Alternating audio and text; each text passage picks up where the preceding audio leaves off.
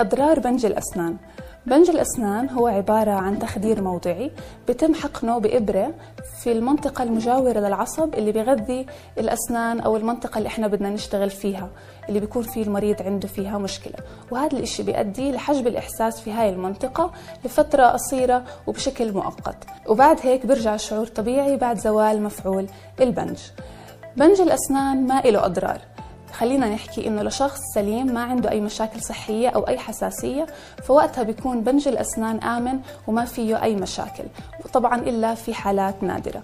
ولكن في بعض الآثار الجانبية مثله مثل أي مادة دوائية ممكن يكون لها آثار جانبية. أكثر الأشياء اللي بيشكوا منها الناس من بنج الأسنان.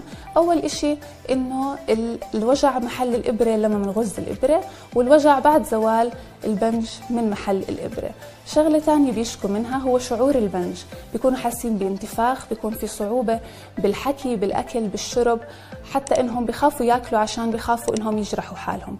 شغلة ثانية إنه ممكن يتعرضوا الناس إنهم يزيد عدد دقات قلبهم أو يتعرضوا للدوخة أو الإغماء.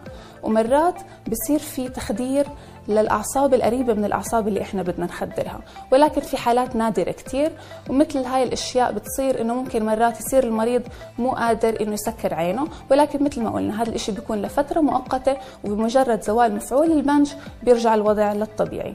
فبنج الأسنان ما بيخوف. أهم إشي أنت لازم تعمله إنه أنت لما تراجع طبيب الأسنان إنك تخبره بتاريخك المرضي كامل. تحكي له إيش في عندك مشاكل صحية إيش تتناول أدوية بشكل يومي إيش في عندك حساسية وهو رح يقدر يتعامل مع حالتك بشكل جيد يعطيك البنج المناسب لإلك والكمية المناسبة.